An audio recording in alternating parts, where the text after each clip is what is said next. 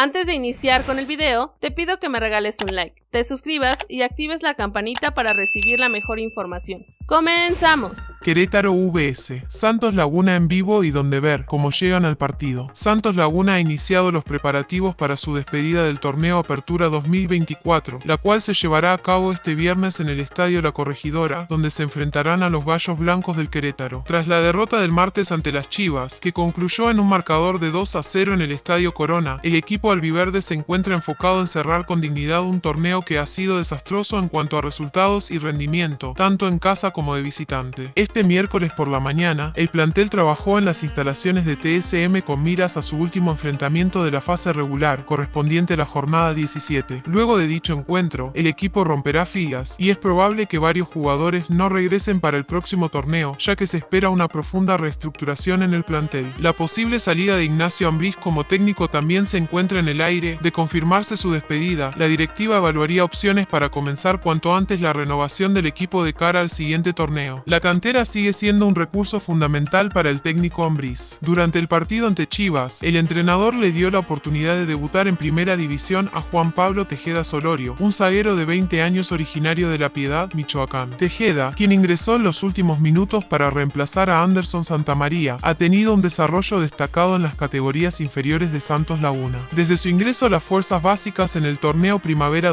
2017 Sub-13, ha transitado por los equipos Sub-15, Sub-17 sub-18, sub-20 y sub-23, destacándose en 8 fases finales y logrando el subcampeonato en el Clausura 2022. Además, cuenta con experiencia en selecciones nacionales menores, lo que promete un futuro prometedor para el juvenil albiverde. Donde ver el Querétaro versus Santos. A continuación te dejamos las señales de TV en vivo del partido entre Querétaro versus Santos por la fecha 17 del fútbol mexicano, que está programado para este viernes 8 de noviembre a las 19 horas tiempo del centro de México. Todos los detalles se actualizarán en los próximos días. México, Caliente TV y VIX Premium. Estados Unidos, Tudnusa y VIX Premium. ¿Cuándo ver el Querétaro vs Santos? El duelo entre Querétaro vs Santos correspondiente a la fecha 17 del torneo Apertura 2024 está programado para jugarse este viernes 8 de noviembre en la cancha del Estadio La Corregidora. Todos los detalles por 365 scores. Ahora el enfoque está en tratar de cerrar dignamente un torneo en el que han tenido un desempeño desastroso, con un pésimo rendimiento tanto de local como de visita, por lo que luego del enfrentamiento de este viernes correspondiente a la jornada 17, el equipo romperá filas y a varios jugadores no se les volverá a ver por estos rumbos. Incluso es muy probable que sea la despedida de Ignacio Ambriz de la dirección técnica, que de ser así, entonces la directiva estaría platicando con los probables relevos para iniciar cuanto antes la renovación del plantel. Santos trabajará este jueves por la mañana en TSM,